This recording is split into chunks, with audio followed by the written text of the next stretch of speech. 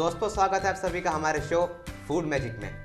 जैसे कि दोस्तों, आप सभी जानते हैं कि समर सीज़न स्टार्ट हो चुका है और कुछ ही दिनों के बाद बच्चों को समर ब्रेक भी पड़ने वाली है। तो ऐसे में बच्चे दिन भर धूप में खेलते रहते हैं।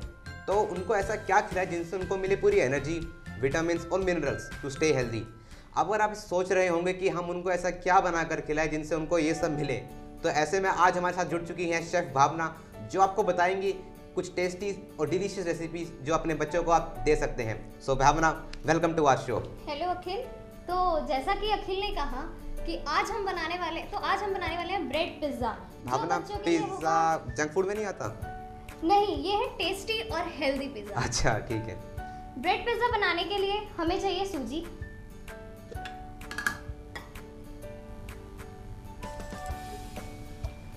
दो कटे हुए प्याज।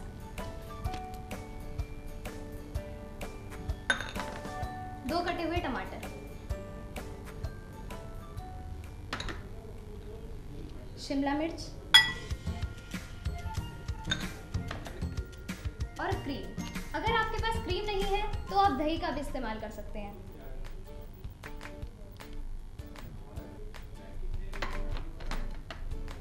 इसमें डालेंगे हम नमक। लाल मिर्च।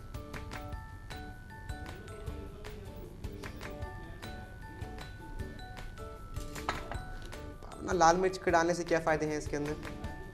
लाल मिर्च के तो कोई फ़ायदे नहीं है वो तो टेस्ट बढ़ाएगी पर हाँ इसमें हमने डाला है अनियन टमाटो तो ये बच्चों को रखेंगे देंगे प्रोटीन और ये रखेंगे उन्हें दिन भर एनर्जेटिक जो कि समर के लिए काफ़ी ज़रूरी होता है। हाँ तो अब हम इन सारे पेस्ट को मिला देंगे।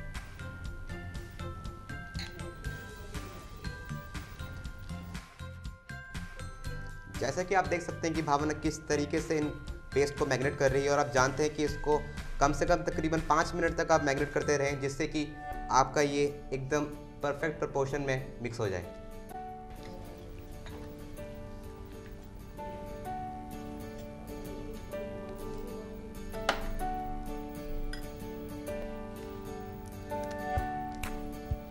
ये लो नमक।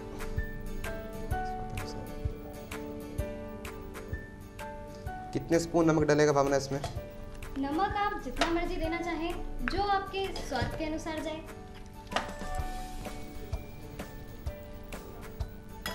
इस पेस्ट को हम थोड़ी देर पाँच मिनट ऐसे रख देते हैं, तब तक हम करेंगे अपनी कढ़ाई गरम। और उस पर डालेंगे थोड़ा सा तेल।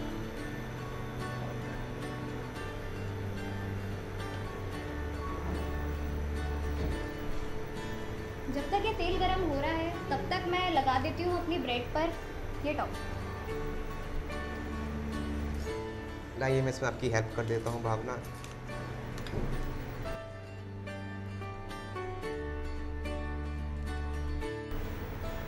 Bhavna pizza bread pizza हम बना रहे हैं तो आपको क्या लगता है कि इसके लिए हमें पिज़्ज़ा और ब्रेड का साइज़ कुछ एस्टिमेट हम ब्राउन ब्रेड यूज़ करें या वाइट ब्रेड यूज़ करें? जो मर्ज़ी ब्रेड यूज़ कीजिए। ये टॉपिंग आप एक थिन लेयर में ही लगाएँ। कि ये जल्दी पक जाए। जैसा कि आप देख सकते हैं कि इसके बाद ये काफ़ी डिलीशियस लग रहा है। मेरा तो अभी से खाने का मन कर रहा है इसे। तो आप देख रहे होंगे हमारा तेल भी यहाँ थोड़ा थोड़ा गर्म हो रहा है।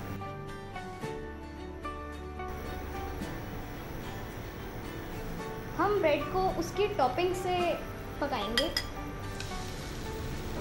और इसे हल्का थोड़ा प्रेस करेंगे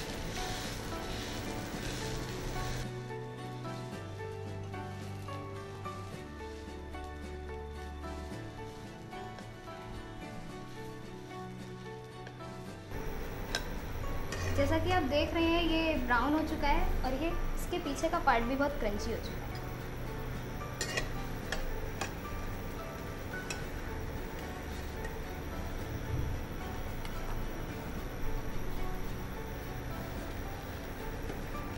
हम दूसरे के साथ भी ऐसे ही करेंगे।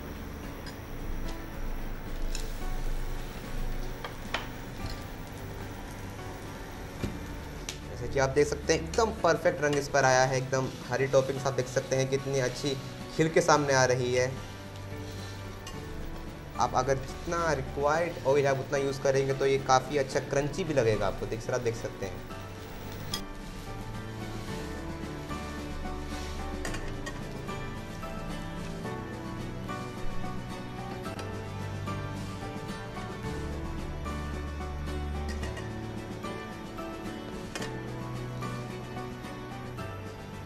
भावना जितना मुझे पता है पिज़्ज़ा के साथ एक चिल्ड कोल्ड ड्रिंक पीने का मज़ा कुछ और ही होता है। तो आप सिर्फ़ पिज़्ज़ा बनाएँगे इसके साथ में कुछ कोल्ड ड्रिंक के बदले में कुछ टेस्टी एनर्जेटिक दे रही हैं। कुछ टेस्टी और एनर्जेटिक कोल्ड ड्रिंक के बदले में तो हो सकता है फ्रूट पंच तो आज मैं आपको फ्रूट पंच बनाना सिखाती हूँ।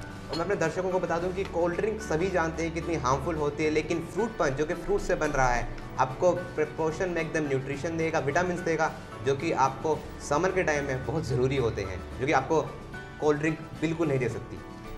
इसके लिए हमें चाहिए कटे हुए सेब, संतरे, अंगूर। इनको हमने पहले से ही चॉप्ड करके रखा है, जो हम अब ग्राइंड करेंगे।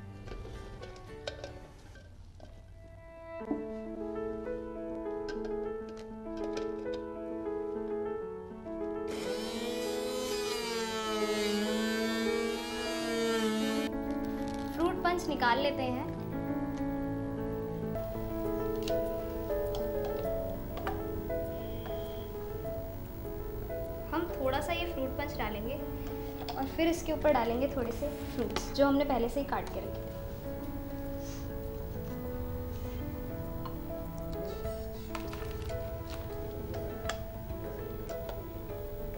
हमने इसे ज़्यादा थिक नहीं किया किया है क्योंकि इसके न्यूट्रिशंस कम ना हो जाए, जैसे कि ये बच्चों के लिए है।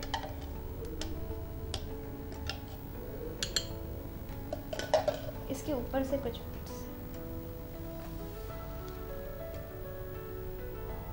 तो अब ये हमारा फ्रूट पंच रेडी है और जो ब्रेड पिज़्ज़ा था उसे हम सर्व कर सकते हैं थोड़ी सी केचप के साथ।